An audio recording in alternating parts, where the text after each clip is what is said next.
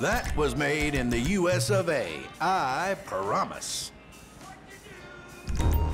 I can tell we are gonna get along famously.